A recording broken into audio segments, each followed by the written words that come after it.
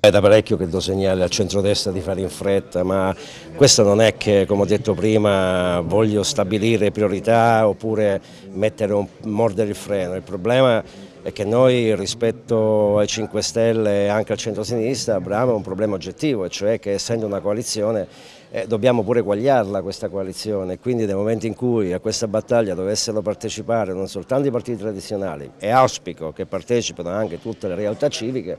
è chiaro che ci, ci vorrà un periodo di sintesi sia per quanto riguarda le candidature, sia per quanto riguarda i programmi, la strategia elettorale, Ora è chiaro che siamo arrivati quasi a metà novembre, io ritengo che a questo punto, a questo punto eh, anche per rispetto di chi giustamente ci dovrà mettere la faccia per quello che riguarda i nostri candidati, è giusto che comunque le candidature che sono state già accertate, stabilite, vagliate, ponderate, è giusto che dia spazio ai miei uomini e alle mie donne. Lei poco fa ha detto eh, giustamente dovrà essere Fratelli d'Italia a scegliere il candidato come deciso a Roma. Fabrizio Di Stefano ha annunciato annunciato ufficialmente la sua candidatura. Un'eventuale discesa in campo di più candidati per il centrodestra potrebbe essere penalizzante? Senza ombra di dubbio uno dei politici più esperti, più credibili, più capace che abbia la regione Abruzzo. Però un centrodestra diviso non sia il bene dell'Abruzzo, ma soltanto perché ho la percezione a livello dell'elettorato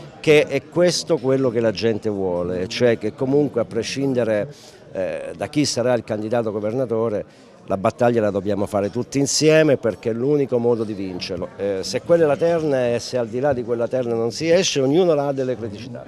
Eh, Gian Donato è una bravissima persona, un amico, però viene fuori da una sconfitta elettorale, politicamente è un po' usurato.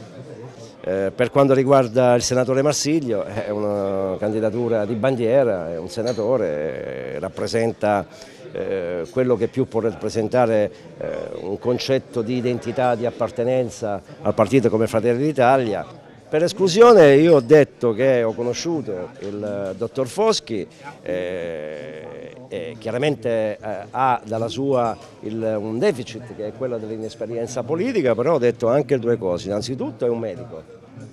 e quindi sicuramente avrà competenza in quello che io ritengo uno dei settori strategici più importanti della regione, cioè il settore della sanità, quindi ha competenza su questo. Fra i tre ho dato un mio parere, è un parere personale, poi ripeto, a scegliere sarà Fratelli d'Italia e chiunque sarà, chiamiamolo così, il prescelto, per noi non cambierà una virgola e cioè comunque faremo la nostra battaglia in ogni modo e con ogni mezzo.